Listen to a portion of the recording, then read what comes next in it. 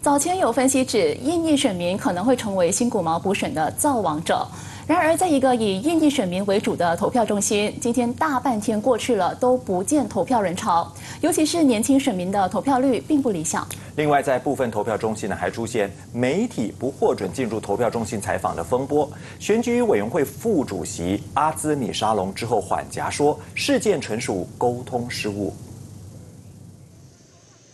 新古毛出席花落谁家，投票率是其中关键。然而，相较其他投票中心，从今早八点开始就出现投票人潮，位于吉林元丘大小的这个投票中心就显得相当冷清。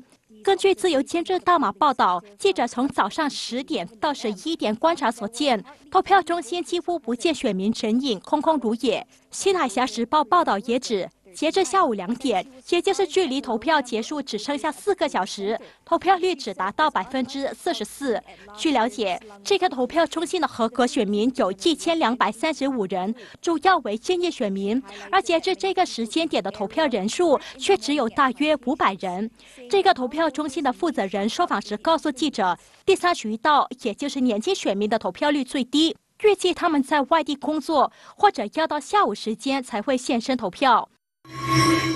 今天的投票情况还出现了插曲，部分投票中心不准媒体入内采访，掀起小风波。其中包括位于金明华小的这个投票中心。尽管媒体持有选委会发出的媒体证，却依然不获准进入学校范围。直到几次和投票中心的负责人洽谈，最终才得以进入采访。雷同的情况也发生在位于芙蓉港华小的投票中心。选委会副主席阿兹米沙龙随后缓颊说：“一切纯属误会。” Sometimes there's miscommunications, but we can check it out. You let us know. Let us know if you have any problems. Okay? Tapi you know, some it's it's human error juga kadang-kadang. Tapi akhir kali masuk juga kan? I know, I know. 阿兹米沙龙也告诉媒体，这场补选的成绩预计最快会在今晚九点出炉。